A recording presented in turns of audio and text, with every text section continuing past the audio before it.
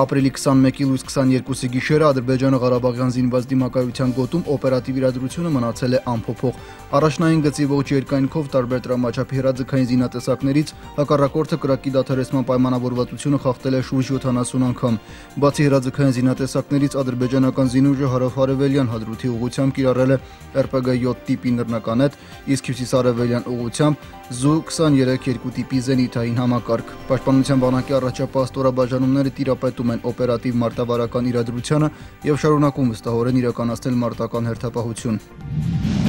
Նախագահ Բակո Սահակյանը երեք հրավիրել է աշխատանքային խորհրդակցություն, որի ընթացքում քննարկվել են բանակի կենսագործունեությանը եւ պետական մարմինների կողմից այդ ոլորտում օպերատիվ լուծում պահանջող խնդիրների իրականացմանը վերաբերող հարցեր։ Նախագահի աշխատակազմի տեղեկատվության գլխավոր վարչության փոխանցմամբ զեկույցներով հանդես են եկել բանակի բարձրագույն հրամկազմի ներկայացուցիչները եւ համապատասխան մարմինների ղեկավարները։ Նախագահը կոնկրետ հանձնարարականներ է տվել քննարկված հարցերի պատշաճ իրականացման ուղղությամբ։ Խորհրդակցությանը մասնակցում էին վարչապետ Արայիկ Հարությունյանը, պաշտպանության նախարար Լևոն Մնացակ Հակոբյանյանը, պաշտոնատար այլ անձինք։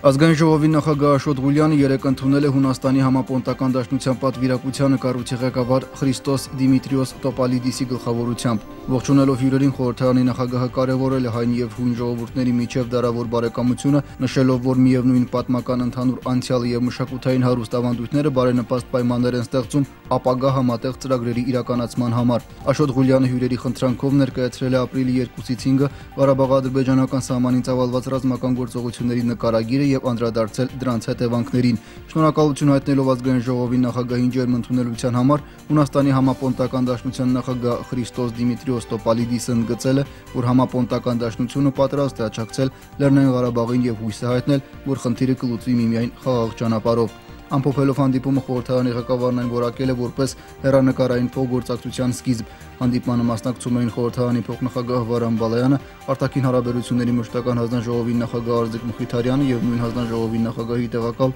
Դավիթ Մելքումյանը։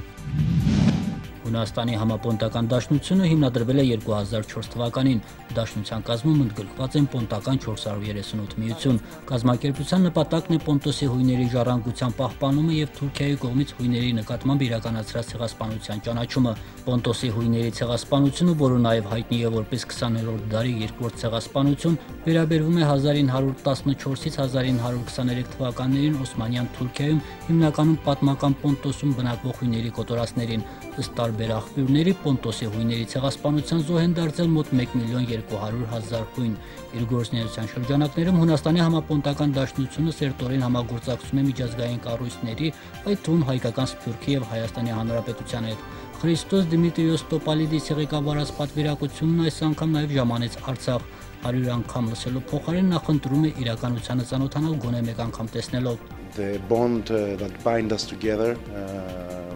Greeks and Armenians։ Հույներին եւ հայերին կապող շատ բան կա ներառյալ մշակույթը, պատմությունը եւ ամենակարևորը ցեղասպանությունը։ Որոշեցինք այցելել նաեւ Արցախ, ոչ մշակույթի եւ երիտասարդության հարցերի նախարարի հետ հանդիպումը մենք արդեն զրուցել ենք Լեռնային Ղարաբաղի Հանրապետության ազգային ժողովի նախագահի եւ արտգործնախարարի հետ։ Ուզում ենք ամեն ինչ տեսնել մեր սեփական աչքերով, քանի որ այն ինֆորմացիան, որ ստանում ենք Հունաստանում կամ այլ երկրում, շատ է քաղաքականացված եւ հաճախ չի համապատասխանում իրականությանը։ Այս լարված օրերին պետք է օգտագործել յուրաքանչյուր հնարավորություն ողջ ճշմարտությունը հասնելով միջազգային հանրությանը, եվրոպական կառույցներին ու բոլոր նրանց, ովքեր շահագրգռված են այս հակամարտության կարգավորման հարցում, առավել եւս որ համացանցը ողողված է հակասական տեղեկատվությամբ, նշում է նախարար Նարինե Աղաբալյանը, կարևորելով Հունաստանի համապոնտական դաշնության պատվիրակության այցը հանրապետություն։ Կարևոր է նաեւ հասցնել միջազգային հանրությանը այն ճշմարտությունը, որ այսօր Արցախում շնորհիվ մեր 18-20 տարեկան տղաների եւ շնորհիվ հայոց բանակի կանխվել է մի նոր ցեղասպանություն եւ մինչև այս փորձերը չդատապարտվեն